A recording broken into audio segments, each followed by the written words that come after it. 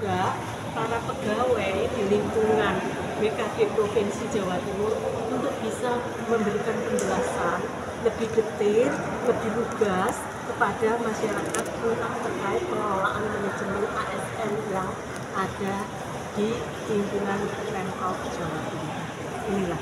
Nah ini sehingga belajar melatih bagaimana ASN di lingkungan BKD ini bisa memberikan pelayanan yang lebih baik dan lebih baik.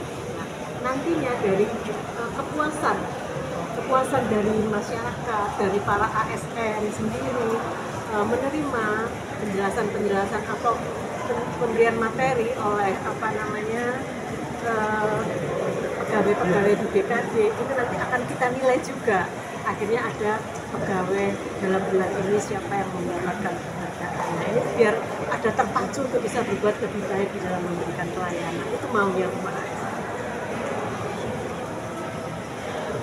PPT sudah 4.500 sudah selesai. Tinggal nanti di bulan uh, Juli awal mungkin akan penyerahan SK-nya ada 4.500 ya Nah, nanti di bulan November kita ada kurang lebih 8.700. Yang terbanyak adalah pengambilan P3K guru. Ada 6.141. Itu menghabiskan seperti yang disampaikan oleh Ibu tadi bahwa 6.141 itu adalah mengangkat uh, PTT apa GTT ya, hmm. yang guru yang lolos passing grade yang ada di uh, Pemprov Jatim 8.500 itu dihabiskan semuanya. 6.141 nah, sisanya ada nakes kurang lebih 1.131 eh, dan sisanya lagi adalah tenaga administrasi 900 teknis administrasi. Tahun kemarin kan sekitar 40 persen dengan Menpan karena yang menetapkan standarisasi itu adalah Kemenpan sehingga kita perlu komunikasikan apakah ada eh, apa namanya mungkin ada evaluasi lah. Ya kita kan setiap kali ada penyelenggaraan pasti kita lakukan evaluasi untuk perbaikan kan? Seperti itu ya pasti kita lakukan. Nah jadi sekarang kita lakukan koordinasi dengan Kemenpan apa solusinya? Solusi yang nggak diterima di Insya Allah ya nanti uh, secepatnya akan saya sampaikan ke tapi tidak disiapkan kuota khusus gitu Bu untuk PTT-nya dari Pemprov itu untuk masuk P3K berapa gitu ada kuota khususnya gitu Bu biar nggak dicampuri lain. kan harus lewat seleksi terbuka kan nggak mungkin kita nanti melanggar HAM lagi nggak mungkin seperti itu. Tetap kita lalui kita formasi kita perbanyak ya tapi tetap penerimaannya lewat seleksi kuota dari kementerian sudah turun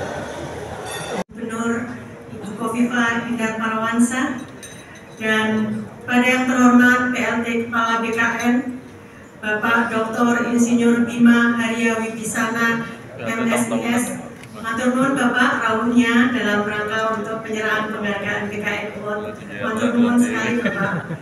Uh, pada yang terhormat Deputi Bidang Pengawasan dan Pengendalian Kepegawaian BKN Bapak Dr. Oto Kuswandaro Kuswandaru Sarjana Sosial MSI CIPA Maturun Bapak Lautnya BKN Award tahun 2023 dalam keadaan sehat walafiat. Ibu Gubernur dan PLT Kepala BKN yang saya hormati, sebagaimana diketahui bersama bahwa BKN pada tanggal 30 Mei kemarin telah talenta manajemen 2030 dengan tema Smart, Agile, dan Empati.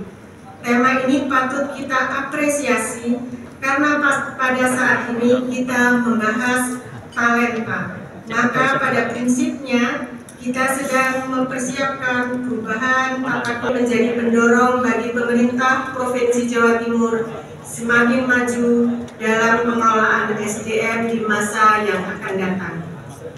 Ibu Gubernur yang kami hormati, dalam gelaran Rakornas Kepegawaian tahun 2023 juga penghargaan BKN Award kepada kementerian lembaga dan pemerintah daerah maupun pemerintah kabupaten kota. Dan dalam kesempatan yang berbahagia ini, kami laporkan kepada Ibu Gubernur bahwa Provinsi Jawa Timur berhasil membawa 39 penghargaan pada semua kategori. Karena ini merupakan yang paling banyak nih Pak Bima. Boleh plus sekali lagi Bapak. Dengan rincian sebagai berikut.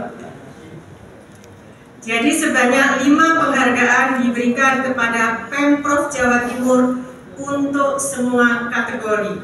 Yang pertama, kategori utama implementasi NSPK Manajemen ASN terbaik. Yang kedua, terbaik pertama kategori pengembangan kompetensi. Boleh plus Bapak? Yang ketiga, terbaik kedua kategori penerapan pemanfaatan data sistem informasi dan CAT. Keempat, terbaik kelima perencanaan kebutuhan dan mutasi pegawai. Yang terakhir, yaitu terbaik kelima kategori implementasi manajemen kinerja. Penghargaan yang diperoleh oleh pemerintah provinsi ini juga diikuti penghargaan yang diperoleh oleh uh, kabupaten kota yaitu sebanyak 34 penghargaan yang tersebar di 16 kabupaten kota se-Jawa Timur.